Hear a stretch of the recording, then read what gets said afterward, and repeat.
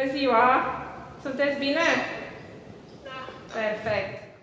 Iulian, Ioana și Vlad sunt cei trei elevi din clasa a 11-a de la liceul Timișoran C de Loga, care au dezvoltat extensia No Lies pentru a combate știrile false din mediul online. Cu această aplicație au câștigat etapa națională a concursului EU Code Week. Realizatorii programului au conectat extensia la o bază de date de peste 1,5 milioane de site-uri, iar pentru combaterea știrilor false au avut în vedere inclusiv review-urile celor care accesează paginile de internet. De exemplu aici despre Jeff Bezos după ce a mers cu racheta în spațiu, o știre care e de pe The Atlantic, e știre adevărată, deschide extensia, dă scorul de 84, zice că e un fact și dă alte sugestii. Și dacă intru pe aceste sugestii,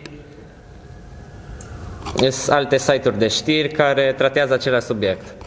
Pentru că noi vrem ca utilizatorul să-și facă o idee din mai multe surse, nu doar dintr-o singură sursă.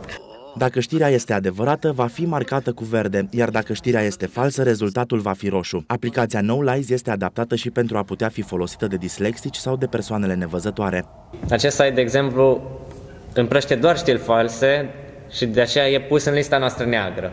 Noi analizăm și ce note dau alți utilizatori și mai avem și o listă neagră cu virus. Cei trei tineri au lucrat 48 de ore atât față în față la școală, dar și de acasă, în mod virtual. În prima etapă eu am lucrat cu Iulian, eram pe partea de design și Vlad era online.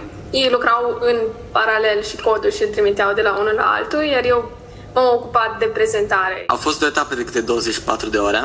Eu și cu Ioana am fost prezenți fizic ca să putem lucra mai bine, iar Blăduț era online și lucram împreună pe cod.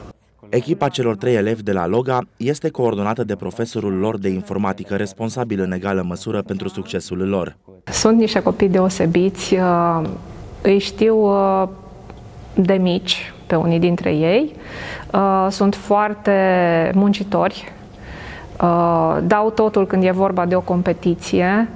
Acum, cei trei elevi timișoreni așteaptă să vadă dacă vor câștiga faza finală a concursului european EU Code Week, ce se desfășoară în sistem online.